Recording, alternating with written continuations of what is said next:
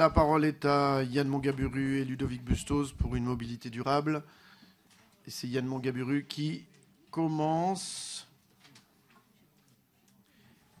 Merci Monsieur le Président. Nous ferons euh, cette présentation euh, à deux voix, puisque pour que la mobilité durable, il faut marcher euh, avec deux pieds, n'y voyez aucun outing de période. mais, juste un partenariat d'exigence pour transformer la mobilité dans notre territoire. Plusieurs, plusieurs objets dans ce budget 2017. D'abord, évidemment, la contribution de la métropole euh, au budget euh, du syndicat mixte euh, des transports en commun. Une contribution qui est encore aujourd'hui importante. Néanmoins, le, SMTC et la métropole ont convenu d'un échelonnement sur 20 ans du remboursement de la dette suite au protocole intervenu entre le SMTC, le département et la métropole qui convenait initialement de ce remboursement sur 10 ans. Cet échelonnement est euh, nécessaire à la fois pour les finances de la métropole et même pour la structure budgétaire du syndicat mixte de transport en commun. Je partage euh, néanmoins, et ça a été dit euh, par plusieurs élus, le fait que pour la première fois dans notre territoire, et nous sommes même l'un des seuls territoires en France où la contribution des collectivités, pour la première fois, est inférieure à la contribution des usagers, la métropole apportant 11% euh, du budget euh, du syndicat mixte de transport en commun. Nous avons là un point d'attention si nous voulons être euh, à la hauteur des besoins en termes de transport en commun dans les années à venir, à la fois sur les investissements et sur l'amélioration des services de déplacement. Au-delà de cette contribution qui est un aspect majeur du budget de mobilité durable de la métropole, un investissement sur les gares, un investissement sur les gares qui s'élève à 1 million d'euros euh, sur euh, le territoire. En premier lieu, sur euh, la gare de Grenoble, dont vous savez que nous venons de quasiment finaliser les travaux, et c'est donc le, dernier versement, mais aussi sur la gare de Moiran, puisque pour notre part, nous croyons à la coopération avec les territoires voisins. et il y a un enjeu que d'avoir un réseau de gares à niveau dans l'ensemble du bassin de déplacement. Et donc la métropole ici s'engage auprès du Voironnais et de la région euh, Auvergne-Rhône-Alpes pour euh, la requalification de la gare de Moiran euh, dans l'année 2017. Un enjeu de politique cyclable qui s'inscrit dans la poursuite des politiques que nous avons lancées depuis 2014, avec à la fois un investissement important, 500 000 euros sur le réseau secondaire, pour pouvoir faire profiter euh, notamment euh, le territoire Grand Sud de la qualité du maillage secondaire dont bénéficie euh, déjà le périmètre historique de la métropole et 2 400 000 euros sur le réseau structurant de pistes cyclables, là aussi avec une volonté dans l'année 2017 de tourner prioritairement notre regard vers le sud et le Grand Sud métropolitain. Vous savez que l'INSEE a révélé que l'année dernière, 15% des Grenoblois euh, utilisent le vélo quotidiennement pour leur trajet domicile-travail. Nous sommes euh, désormais euh, quasiment aussi près que la part modale historique des Strasbourgeois. Il y a donc une croissance de la pratique du vélo. Il faut que les investissements et les infrastructures soient au rendez-vous si on veut justement permettre qu'il y ait moins de conflits d'usage. Sur le vélo, un choix aussi de continuer à équiper le parc de métro vélo, 700 vélos, métro vélos supplémentaires cette année avec deux cibles prioritaires. Les, euh, vélos euh, pour enfants, de façon à ce que les vélos euh, ne soient pas réservés aux adultes, et puis les vélos spéciaux dédiés aux automobilistes.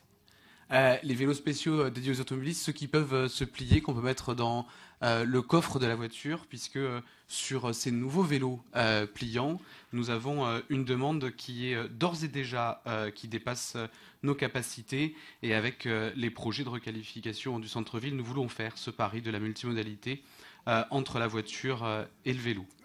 Un investissement vertueux qui a déjà été âprement cité et félicité. On a eu l'occasion avec le maire de Sassenage et le président de la métropole de visiter ce chantier, la réalisation du technicentre métro vélo à Sassenage, la finalisation des travaux durant l'année 2017 un investissement qui est doublement vertueux, d'abord sur le projet de territoire, puisqu'il permet de réutiliser euh, ce qui est devenu euh, une friche, un dépôt de bus qui n'était plus utilisé, de le réutiliser vers euh, une nouvelle affectation, un nouveau besoin en termes de services de mobilité sur le vélo. mais aussi très vertueux puisque en 5 ans, il sera rentabilisé puisqu'il nous permettra de ne plus avoir besoin de louer un bâtiment qui aujourd'hui n'est plus adapté à notre service.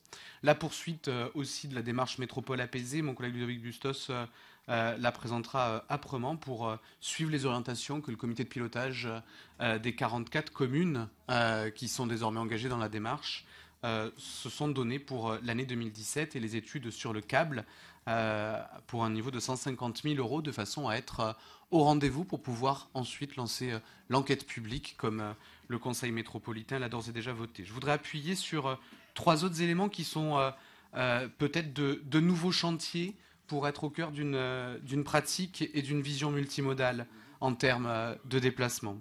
Trois nouveaux chantiers. D'abord, euh, la logistique à laquelle nous consacrons pour la première année près de 300 000 euros, parce que le transport de marchandises est autant nécessaire que le transport de personnes et mérite autant notre attention. C'est là aussi une contribution au développement économique, à l'efficacité économique de la métropole, c'est là aussi une contribution à la transition énergétique, puisque, faut-il euh, le rappeler, 35% de nos consommations euh, énergétiques sont dues euh, à nos déplacements, et donc engager la transition énergétique de notre parc, c'est là aussi une question importante.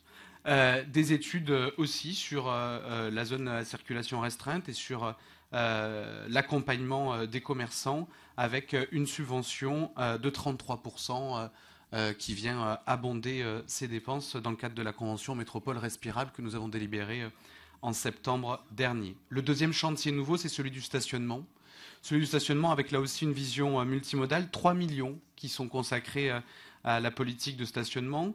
3 millions à la politique de stationnement, près de 400 000 euros au stationnement des vélos avec la consigne à Sassenage, la consigne à Échirol, la consigne euh, de Grenoble pour l'année 2017, mais aussi le déploiement des box à vélo que nous avons expérimenté durant l'année euh, précédente. Et là aussi, euh, à l'issue de l'expérimentation, un déploiement pour créer ce nouveau service de stationnement résidentiel tant attendu dans notre agglomération. Et 2,6 millions de ces 3 millions qui sont la subvention de la métropole au budget annexe stationnement pour euh, des travaux conséquents à la fois dans le cadre de la rénovation euh, urbaine des villes neuves, euh, la réalisation d'un nouveau parking à la presqu'île scientifique et le fait de revoir l'accessibilité du parking Schumann à Europol de façon à avoir une nouvelle accessibilité de la gare de Grenoble par les deux entrées pour fluidifier la circulation et améliorer les capacités de stationnement en lien avec la gare.